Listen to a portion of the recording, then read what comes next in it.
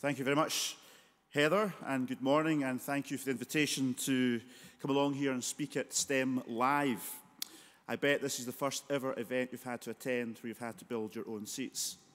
Had you been here a little bit earlier, you'd have seen us building our seats just before you arrived. But actually, I did. Of course, I did build my own seat as well. So I'm going to take this back to Parliament and sit on it this afternoon and tweet about how I was at STEM Live uh, this morning. So it's good to see some STEM in action uh, at the beginning of today's uh, session. Uh, so I'm really, really pleased to be here. And of course, I'm told this is the first time at the Scottish Learning Festival that we've got this show and tell approach that's being adopted uh, for any topic. And of course, we're particularly pleased today that the focus is on STEM.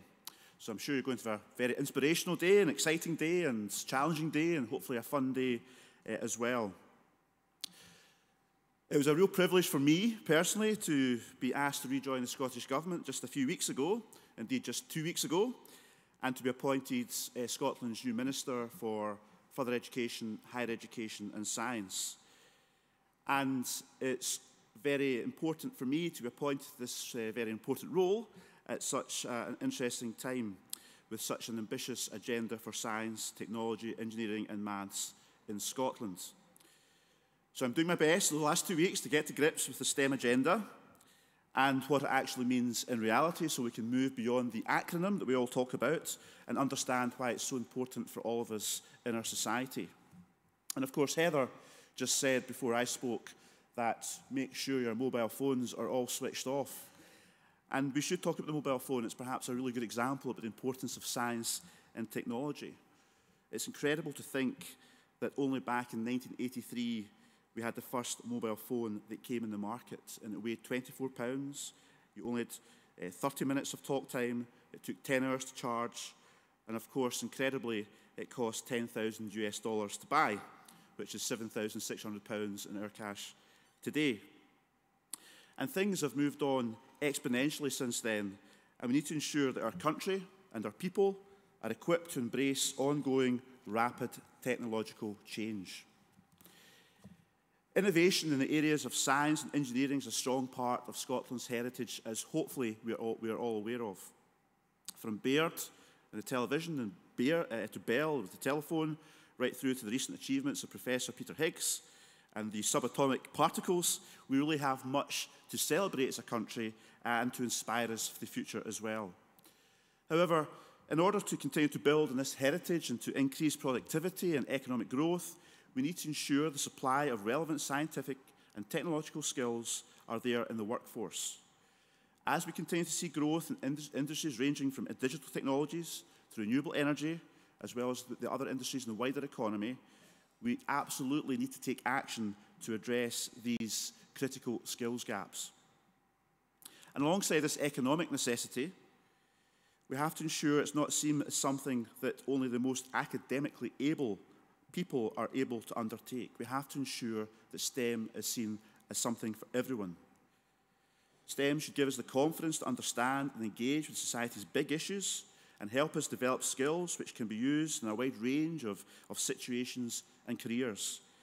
And STEM helps us to live in our ever changing world, link with others, keep us safe and, safe and healthy, and indeed just run our lives. Getting back to the mobile phone. We must ensure that all our children and young people have both a grounding in STEM, but also opportunities to progress and develop the most specialist skills which our STEM employers are looking for these days. Of course, our schools, our, schools approach to STEM learning has come a long way from the science department I can remember when I was at school. I can remember the Bunsen burger, uh, burner and the periodical table. That's really all I can remember about science at school. Uh, and although, although, of course, these are still very essential, uh, for science, experimentation and inquiry today, learning is now increasingly placed in the context of real-life science and engineering, building the links across all the disciplines and making full use of digital technology at the same time. So to support this agenda, last October the Scottish Government published our STEM strategy. It's an ambitious and comprehensive plan to drive forward improvements in STEM right across the education and training landscapes. It's got a five-year lifespan and we will report to Parliament on progress uh, of the first year by December. The strategy sets out a programme of actions being delivered in partnership under four key themes. Firstly, building capacity with the system to deliver excellent STEM learning. Then, closing equity gaps in STEM participation and attainment. And helping inspire people to study STEM. And finally, building a stronger connection between STEM education and training and the needs of the labour market in Scotland. We are already making progress with some of the key actions that are very relevant to all of you in this room today. For instance, having the right number of teachers with the right skills is vital for ensuring that all young people get an excellent STEM education. We know there have been challenges in the recruitment of STEM subject teachers at school, and through our strategy, we therefore introduced a bursary scheme to encourage more career changers into STEM teaching. The scheme aims to provide 100 bursaries of £20,000 to ease the financial transition for career changers leaving paid employment to undertake a year of training uh, for the STEM subjects, where we have a great demand for teachers. And I am pleased to say that the scheme has been very successful this year, with 101 bursaries already approved to date. The strategy also sets out commitments to supporting existing teachers and early years and community learning and development practitioners to deliver STEM learning. As part of this, Education Scotland are developing a new online one-stop shop for STEM professional development, directing practitioners to relevant learning materials and offering support on STEM learning pathways. Education Scotland will also introduce a new grant scheme in the autumn to scale up existing professional learning programmes within local authorities and schools and to enable the development of innovative new approaches. A recruitment exercise for six new regional STEM education advisors is underway at Education Scotland now, with the new team expected to be in post by December. These new posts play a key role in leading professional learning and collaboration in STEM within the new regional improvement collaboratives. And another key area of action is closing equity gaps in STEM participation and attainment.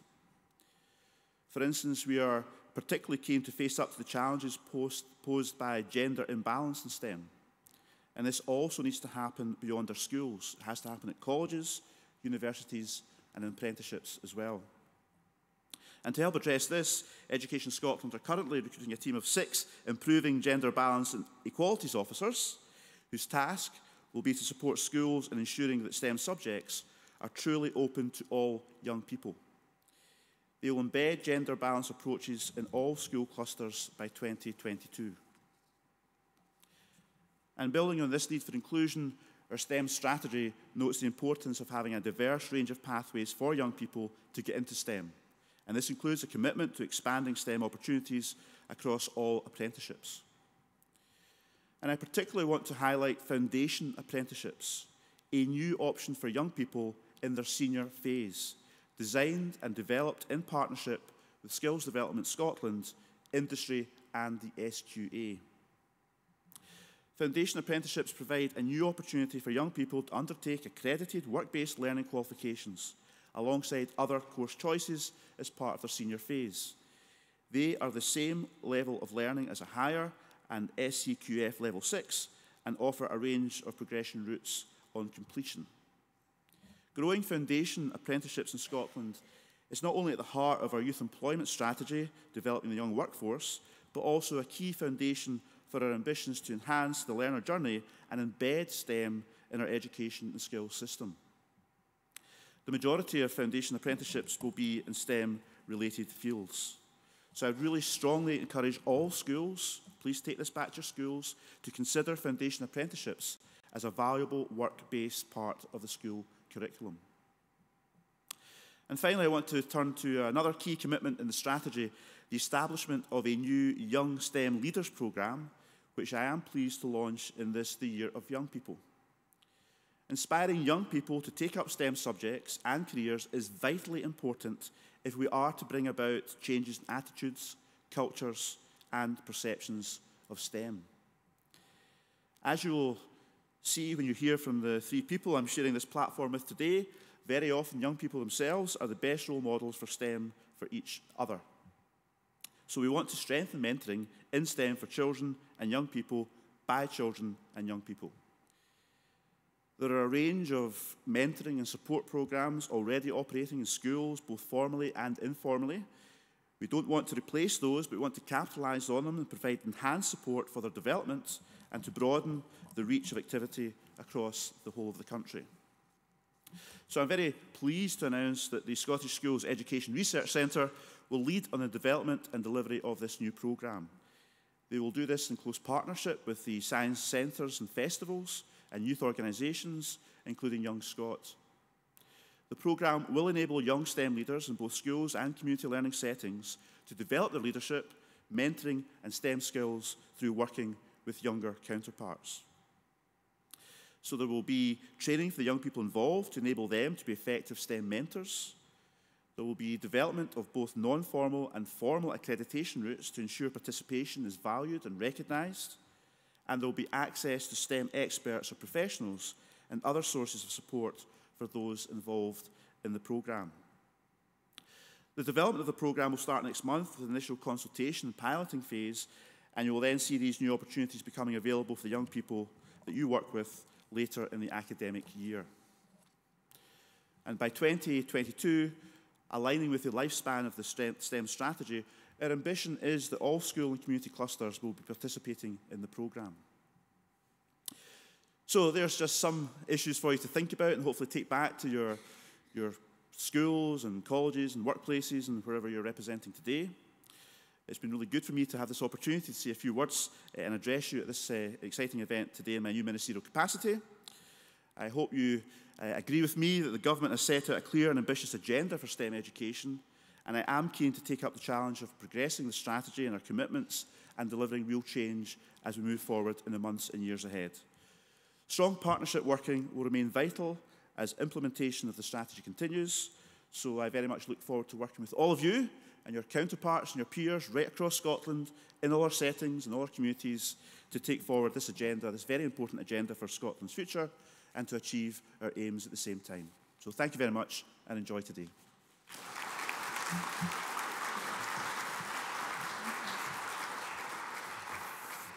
Thank you very much indeed, uh, Mr. Lochhead. We appreciate you, uh, you being here this morning and indeed staying to hear our, our next three presentations, which, as you said, uh, in the year of, the, of young people, appropriately come from three younger people who have all had fantastic and interesting STEM journeys to share with us so far. And we're going to start with S1 and invite a, a student from Mearns Castle High School in East Renfrewshire to share her journey with us, and that's Ruby Kent. Ruby, over to you.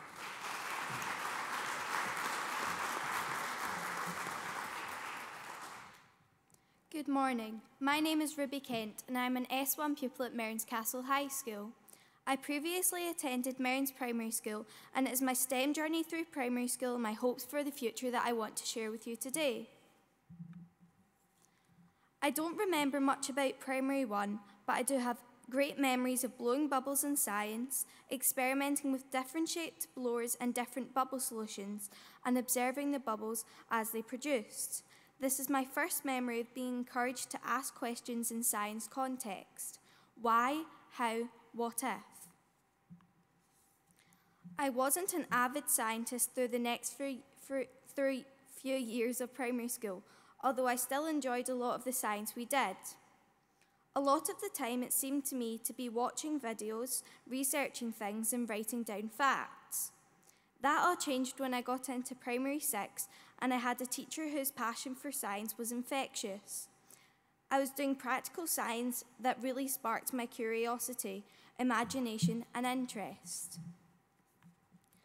It wasn't just the practical science, though, it was the whole classroom ethos that was created.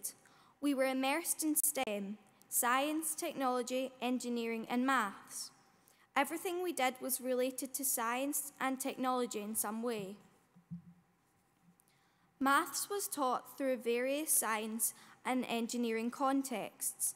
Non fiction reading and writing often had science and environmental contexts, we had debated STEM issues connected to health and well-being in the environment, linked, to art, linked art to science and music and maths, and learned all about the science and maths and music. We learnt all about Scottish scientists, engineers, and inventors and their contributions to the development of technologies, medicines, and science that we all take for granted today. We researched contemporary Scottish scientists and the important research work they are involved in today, and we studied futurology and tried predicting what the technology of the future might look like. A highlight of the year was the P6 Technology Day, where we worked to design, test, modify, and launch our Mars egg landers. Having the opportunity to link our scientific knowledge about forces and air resistance with the technology skills we had been developing and the collaborative skills we worked on all throughout the year, all within an exciting real life context, was something I will never forget. Primary six was my science spark, the enjoyment when science was on the timetable. The excitement of practical science, discussions about topical science in the news, and the freedom and encouragement to ask questions about anything. It's never too late to be bitten by the science bug. I was so inspired by the experiences that I had. In primary seven, I applied to be a school lab technician. After completing an application form and a nerve wracking interview, I was appointed as one of the 12 lab technicians, which was a newly created role in our school. I also signed up for Science Club, which I would never have previously considered, and it was the practical science that inspired me. Making plastic from milk, making ice cream using ice and salt, and experimenting with hydrogels from nappies and proving that the Coke and Mentos reaction was physical, not chemical, by dropping stones into bottles of fizzy drinks. The lab technician role was an amazing opportunity to develop my interest in science as well as my leadership skills. I was involved in running workshops about meteorites and lunar rock samples for pupils throughout the school, demonstrating science to pupils and parents at the STEM showcase evening, and supporting teachers in delivering practical science in class. I attended two inspirational Smart STEM events at Glasgow Clyde College, where we were given hands on technology and engineering experiences, such as building and testing a gas safety bypass system, rebuilding a computer, and fitting a floating shelf. We learnt practical skills as well as how to communicate, follow instructions, and work in a team. I was involved in the 2018 Great Science Share, where we took part in a series of engineering challenges with pupils from, fr pupils from other schools in the Mearns Castle cluster. Finally, as a lab technician, I had the opportunity to be involved in the selection and interview process for the next generation of lab technicians. I then helped deliver their initial training and shared many of my experiences with them. For me, the most important aspect of my experiences has been the opportunity to develop my organisational and leadership skills, being able to organise my time and complete tasks within a deadline, working with my peers on creative projects, and leading learning for younger pupils. I'm not sure what my future holds, whether I will work in a traditional STEM career or not but there is no doubting that my STEM experiences in primary school have given me a multitude of transferable skills and some knowledge that will benefit me in any career I choose. It has also given me more confidence to critically read and question scientific findings in the news. I have a greater knowledge of the, of the range of STEM careers that are available and I have been inspired by visits and visitors to consider a variety of possible STEM careers. I also have an appreciation that, that, the STEM skills I have developed will be useful in whatever I decide to do. The Scottish Government is right to be prioritising STEM subjects in school, as the benefits to students go far beyond just preparing them for work in STEM careers. The transferable skills developed through the science curriculum will equip students with the ability to plan, record, interpret, and evaluate in any situation, in any context. For me, the key factors in an engaging STEM programme in school are that it is well resourced to deliver practical experiences and that the teacher has the knowledge and confidence and passion to inspire their pupils. These two areas should be pri- the priority for the Scottish Government, organisations working with schools, and for all schools moving forwards.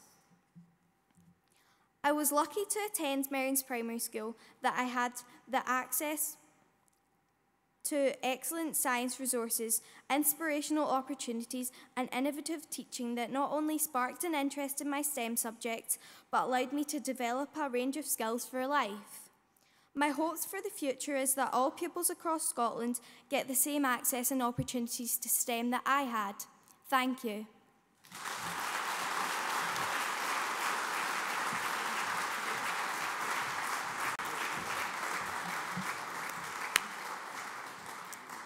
Thank you very much indeed uh, for that, uh, Ruby. I actually met Ruby when she was a lab technician at Mearns Primary School, and, uh, and Primary will indeed be here showcasing some of the amazing science Ruby was talking about there during our, our next session. Now, our next speaker is an S3 pupil at St Thomas Aquinas School here in Glasgow, so please give a warm welcome to talk about his STEM journey to Ayo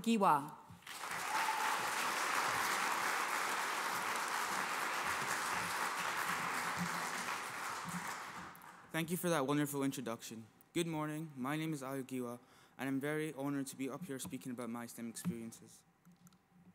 So my journey started at St. Paul's Primary School, where I met a STEM enthusiast of a teacher called Mrs. Sweetie. She loved all things STEM and always encouraged us to do our very best in our learning. She also oversaw a science club in which I joined and participated in the Go for Set Queensferry Crossing Challenge. In this, we had to make a model of the Queensferry Crossing out of lollipop sticks, cable ties, and string. The aim of the challenge was to see which group's model held the most weight without collapsing. I, I also involved in a coalition between two primary schools, mine and Scotstoun Primary, for a day of STEM activities, and one of my favourite was the Egg Drop Challenge. I was also involved in the Heather Huts Challenge, in which we had to design a house that relied 100% on renewable energies such as wind, solar, and wave. I was also very lucky to go to I was also very lucky to go to the Primary Engineer Awards. This was the team that went and I ended up earning a Bronze Crest Award. I also participated in the Science Transition event at St Thomas Aquinas Secondary School, in which the P7s from the Associated Primary School came up for a day of STEM.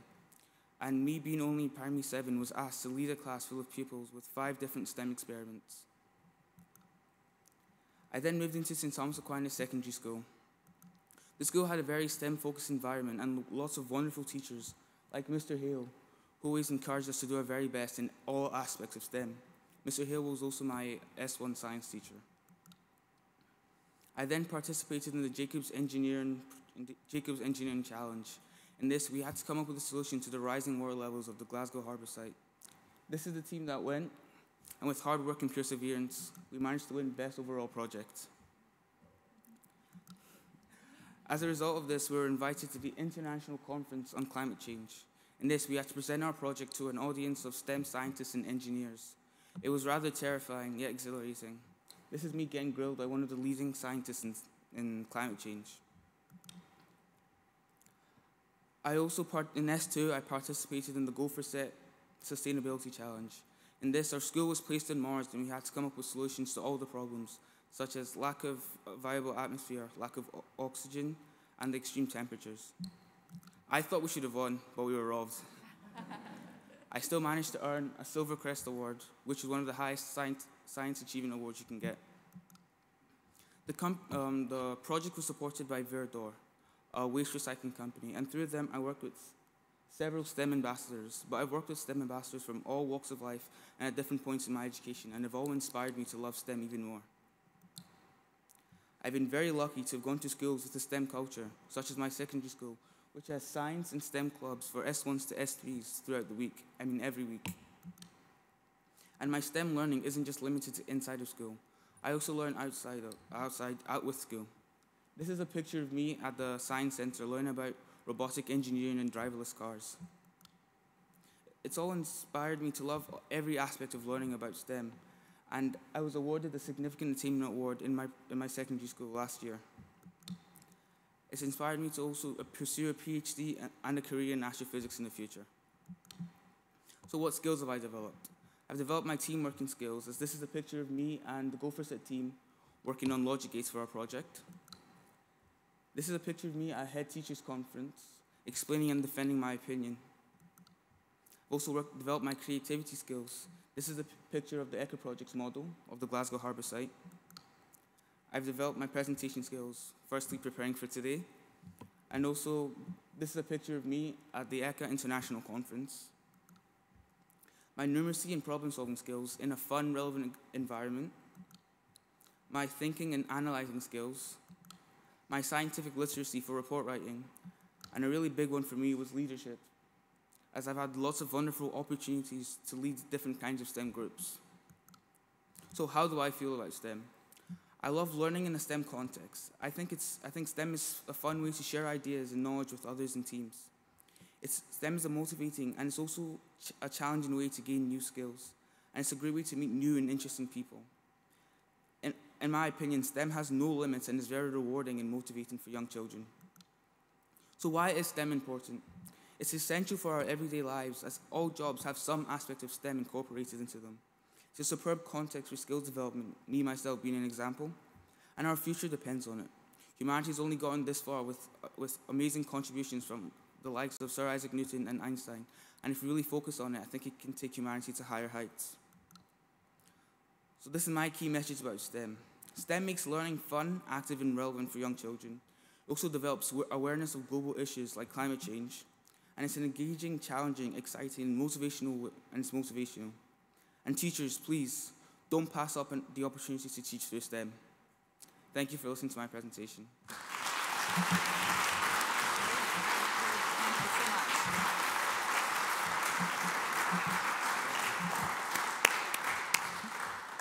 Ayo, thank you uh, so much for that fantastic presentation. Uh, thank you for mentioning Hevis Hut. but I think also you, uh, you showcased really just uh, how many amazing initiatives are out there for schools to get involved in, um, how much partnership working in, in, in STEM is, is, is, going on. And St Thomas Aquinas are also going to be here uh, during the next session to show some of that. Um, And I think astrophysics will be very, very lucky to have you. Uh, of course, we're not, not long off the back of uh, tremendous advances in gravitational wa waves uh, detection uh, led by Sir James Huff and, and indeed our, our, Chief Scientific Advisor, Sheila Rowan. So um, they're going to be knocking on your door, I think, very soon. Thank you very much for that. Um, and then our, our final presentation um, from our younger people today um, really is picking up on one of the themes introduced by the Minister in his presentation and uh, looking at post-school apprenticeship. So I'm delighted to welcome um, Keris Simpkins, who's a post-school apprentice from West Lothian. Keris, over to you.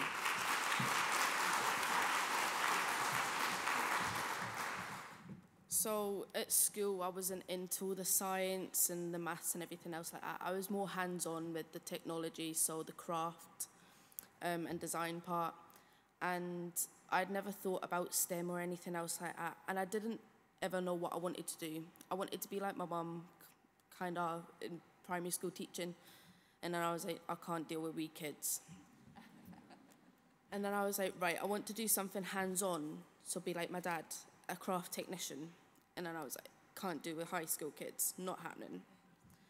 And then one of my teachers, after I moved to school at the start of my fifth year, got me into a multi-trade course um, at the start of my sixth year, and it changed everything for me. I would go out for every Monday for six weeks with two men from the council and do different jobs in different houses in different situations and get on hands-on experience with what I was doing and what they did as a job. And it really opened my eyes and made me realise there's not enough females out in the trade industry and we need more. I know what I want to do. I'm a Plashian apprenticeship apprentice um, for West Lothian Council. I have been for the past two months now. Um, the experience that I've got so far, I'm further ahead than half of the second years already because the experience that I was given through my school with STEM. Um, Mrs. Kane, my craft technology teacher, gave me the opportunities nobody else had, like would give me, and made me believe that I could do whatever I put my mind to. I wasn't into the maths. I couldn't do the maths side. I couldn't do the science side. I don't understand numbers properly. And being able to get hands on and take my mind off everything else like that and be able to put my skill somewhere else which is useful changed everything for me. Being a plasterer, a female in the male industry, there is only one lady in the council working, um, and she's actually a plumber. And then going to different things, and I'm the only female going to different houses, and people don't live in them, and you can't use a toilet. I need to go take get taken back to the depot because the guys can do it wherever they want, but because I'm a female, I need change. We need more females into it because it's not just a man's job. All females are just as capable. No matter, like, you can't see uh, being a female as a limit because it's not. You can't have that boundary. We need more younger. It needs to be advertised more to younger people because I didn't know anything about it until my fifth year with doing the multi-trade course with school. There was a day for the girls into construction. So there was a bunch of girls from my school and my old school um, taken out for a day, shown different trades um, and how it works and how we need more females into it. I keep going on about more females, but it's true because it is seen as a male dominant trade and department, but it shouldn't be. I've went and spoken to other education um, about my multi-trade course with school and I've actually had females from British Gas and things like that come up and speak to me. It's like, how do we get more females into it? We need to give them the opportunities because if they don't know the opportunities, they don't know they're there, then nothing's going to be done about it. So I'm, I was just out of school this year, so I just finished my sixth year and going in straight to an apprenticeship. So I was like, right, I'm getting paid while I learn. This is brilliant. And it's changed everything for me. It's nothing like school. And even going to college, you get treated like an adult and not a kid. But STEM helps you so much and you get so far. Like, teachers need to advertise it more with kids, show them what opportunities they can have from it. Because when I was in primary school, it was never advertised. I thought, oh yeah, we're growing a plant. Yeah, it sits on the windowsill for a week and then it dies. But coming up to the high school and then I thought it was all like English and maths and science. And I, my brain just, I couldn't focus in those subjects. And then I'd go into the craft department and it was all there, everything I could ever want. And it used to be like a wee machine just going at it constantly and spending my lunch times up there. Um, my fifth and sixth year, I spent helping the first and second years because I like showing and helping out other people, younger people, showing them what they can do and what they can put their minds to if they really try. With the, the apprenticeship, it helps everyone. People say, like construction, the kids who don't behave in class get put into that because they're not seen as, oh yeah, you're not going to uni. You can go to uni if you want, but an apprenticeship is just as good as uni. You get in, yes, uni is just like school in my opinion, but with the apprenticeship, you're getting hands on and it's amazing. Just because you're not seen, deemed as smart enough to go to uni, don't block out an apprenticeship. I never knew what an apprenticeship was. I didn't even consider it. I was like, I don't know what I want to do, but just going with it. But it needs to be advertised at a younger age of what the kids can do and that apprenticeships are out there and that they are just as good. Like, you can't just say, oh, it's just an apprenticeship. Like, just put that to the side because it's not. I'm in this for four years. I'm getting taught everything and I'm going to be a qualified plasterer at the end of it. So I may have my own apprentice at the end of it if I get kept on with the council. It just needs to be shown that no matter what, you can do it. Like, technology was my kind of downfall. But with the craft side, it was all there and I put my skill there. Doing the multi-trade course, I was out, learned everything I needed to do, then get the apprenticeship. And people praise you for getting an apprenticeship. But if you get into uni, it seems better, but it's not.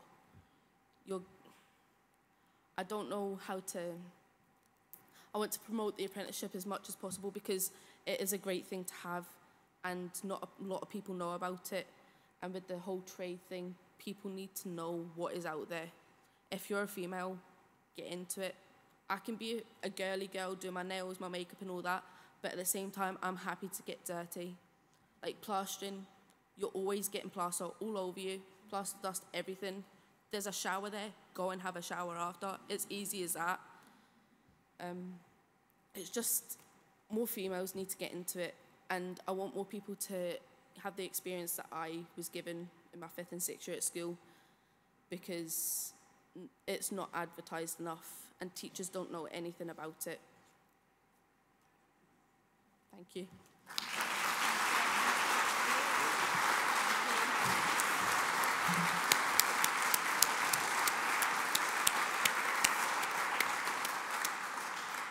Keris, thank you very much for that very passionate uh, presentation and discussion around uh, your STEM journey and uh, raising some really important issues, I think, for, uh, for education. And of course, there will be uh, teams here from Improving Gender Balance uh, work that's going on here in Scotland at both our, our STEM sessions, our, our expos. So picking up on those themes that you have introduced. Thank you very much for doing that.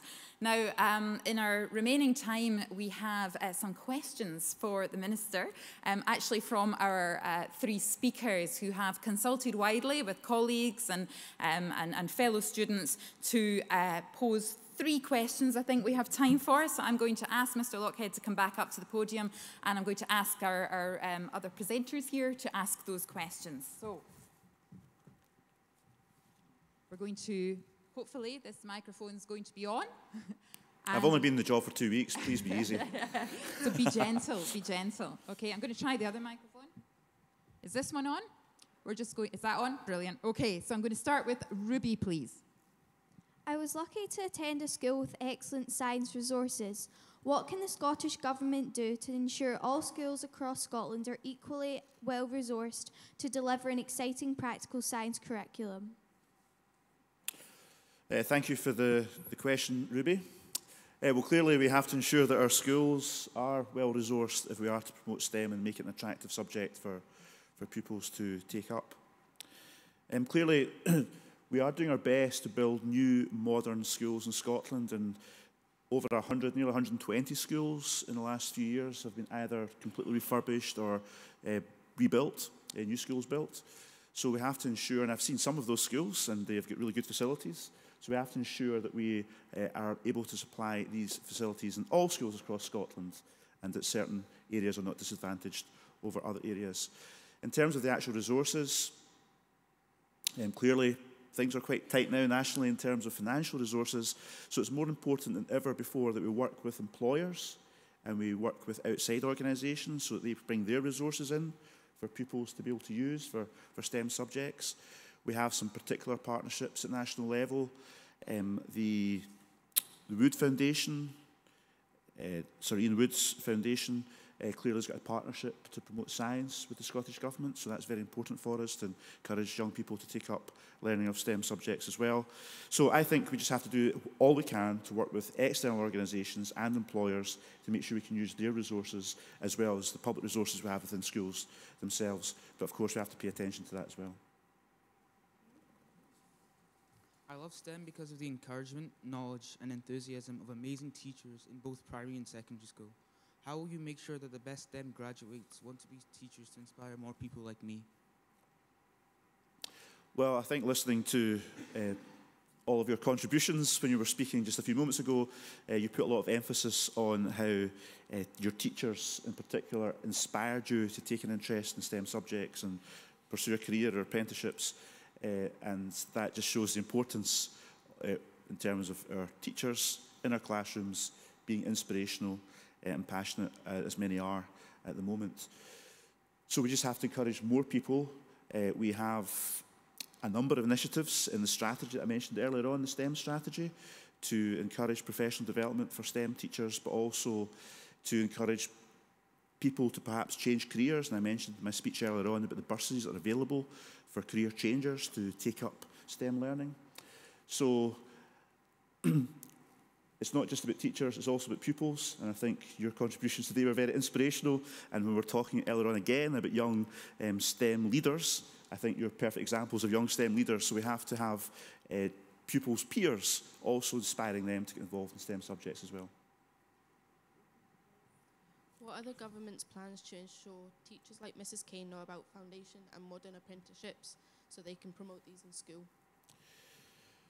Um, well, again, about your experience as apprentice uh, is very inspiring and, and particularly encouraging more women to take up apprenticeships. So well done in what you've achieved and come here today and speaking off the cuff about your experience. Uh, so the more schools we get you into, the better uh, across Scotland. Foundation apprenticeships are a really exciting initiative. So we do need all our schools in Scotland to learn more about them and to take up the opportunities. We have a target and we have to achieve that target. Uh, we are now having people coming forward taking up the foundation apprenticeships, but we need more across Scotland schools as well. And a lot of the inspiration for taking up those apprenticeships will come from teachers in the classroom and from the schools being enthusiastic about this option. Uh, clearly, the developing the young workforce, which is working across uh, local authorities, um, employers and the schools and colleges, all working together, and they're prioritising now foundation apprenticeships and, and all apprenticeships. So we need to have more of that joint working and bring people into the schools to talk about what the foundation apprenticeship's about, have people who've been through apprenticeships talking to their peers about what it's all about as well. And I think that will lead to a much bigger take-up of foundation apprenticeships. Okay, thank you.